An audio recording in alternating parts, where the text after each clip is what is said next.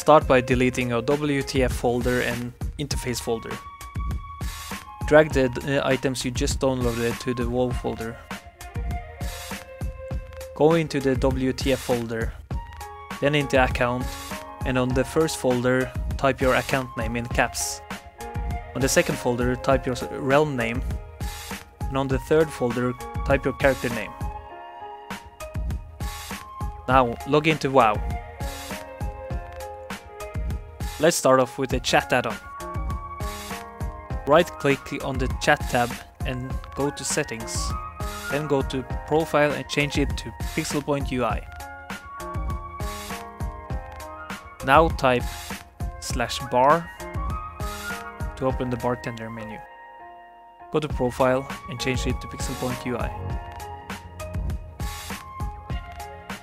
Now type slash bf, change the profile and we also need to change some individual settings.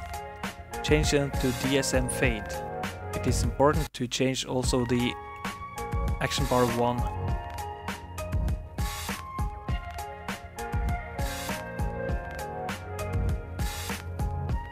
And also change the stance settings to pixel shadow.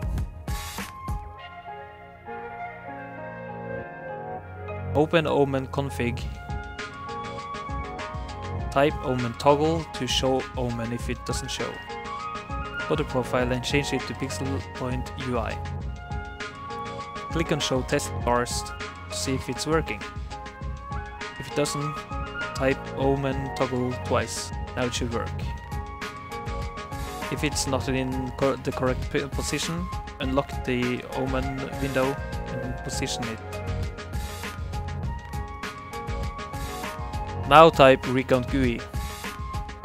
Change the profile. The colors doesn't auto update. To update the colors, go to color the colors tab and check the title and background colors. Also update your font style. Now type XP bar none config. Go to profile. Change it to pixel point UI.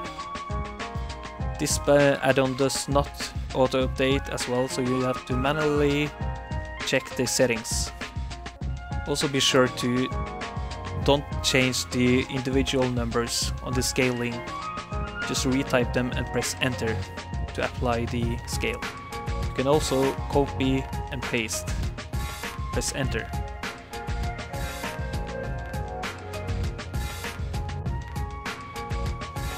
Now position the bar correctly at the bottom of the screen. Next, type Pitbull and click on Profiles and check Pixel Point UI. Next, type Quartz and change the profile. Same with Gladi UI. Go to Profiles and change the profile. Next, type slash grid config change the profile. Now type slash aloft waterfall and change the profile. Next, type sldt config. Now the text elements are draggable. Drag them to the bar. It doesn't need to be perfect. Right click on the elements. You can now change the displaying text to your liking. Also change the Y offset to 87 for, for it to be perfectly aligned. Do this for all elements.